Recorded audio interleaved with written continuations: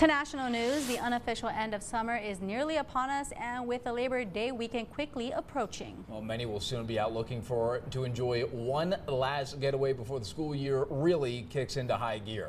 Sam Brock with more on what you can expect if you're headed out of town this weekend. This Labor Day weekend, Americans are packing up and heading out in mass. I think it's just a lot of people traveling. The holiday stretch, officially tracked from Thursday to next Wednesday, will break records, according to the TSA and travel site Hopper. Right now, almost 23 million seats are expected to depart from U.S. airports over the long weekend. A key part of that equation the price of airfares has plummeted, with Hopper calculating the average domestic flight is just $211. That's down 5% from last year and 17% compared to pre pandemic levels. But it's not just air traffic raising the bar.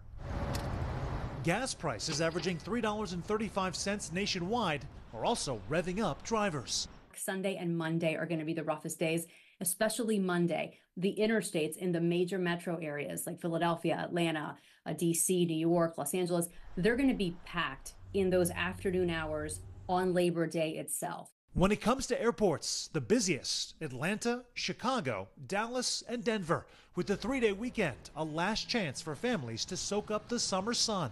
Domestic destinations are outpacing international ones.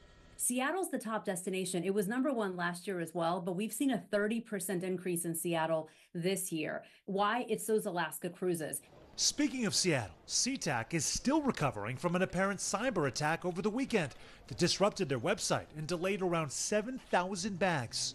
The record breaking summer travel season, smooth early, but it hit some speed bumps in July when 47% of flights were delayed and 13% canceled due to that CrowdStrike outage. Now, August is on track to close with about 24% of flights disrupted, thanks in large part to Tropical Storm Debby. Experts encouraging travelers to buy a flight disruption assistance guarantee. So if your flight is canceled or delayed for any reason, you can rebook on the next available flight on any airline.